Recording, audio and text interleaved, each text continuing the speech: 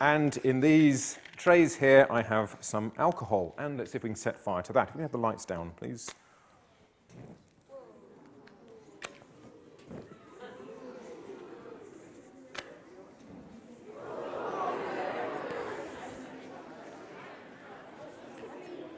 Okay, so say the trays contain an alcohol, and this is burning with the evolution of uh, heat and light. And we've added some metals to the trays here to give the different colors to the flames. So we have some strontium added to the red flame there. The yellow flame contains uh, sodium ions. And this one over here contains boron, which gives the beautiful color. And these, of course, very important in fireworks all the colours that you see in the flames there, um, also due to the metal ions that are added. Okay, right.